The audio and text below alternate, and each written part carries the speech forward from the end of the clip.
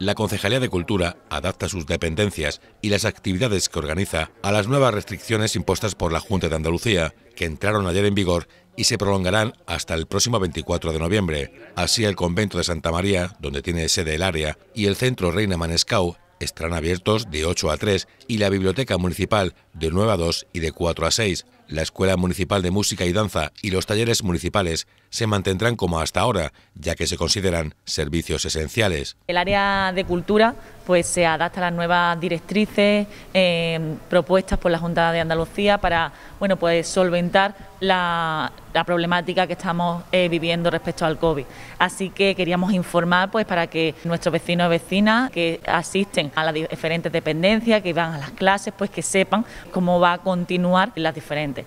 En cuanto al ciclo de teatro, las dos primeras funciones de Caramala y Síndrome Clown, previstas para los sábados 14 y 21 a las 7 de la tarde, se posponen al día siguiente, los domingos 15 y 22 a las 12 del mediodía. Hemos modificado para adaptarnos a las circunstancias y también a la propia organización de las compañías, porque en el momento que supimos que teníamos que adaptarnos a un nuevo horario, nos pusimos de inmediato en contacto con ellos para poder ver cuándo les podía venir bien y poder llevarla a cabo. La tercera y última función de la compañía Tenemos Gato, programada para el sábado 28, se mantendrá a la espera de nuevas modificaciones, ya que las actuales restricciones se mantendrán inicialmente hasta el 24 de noviembre. Las personas que tengan ya sus entradas y no puedan acudir o necesiten hacer alguna consulta pueden dirigirse al área de cultura yo estoy segura que los vecinos y vecinas de Coín pues, son bastante responsables y desde el área de cultura en concreto confiamos en que los actos que llevamos a cabo mantienen todas las medidas de seguridad. Desde el inicio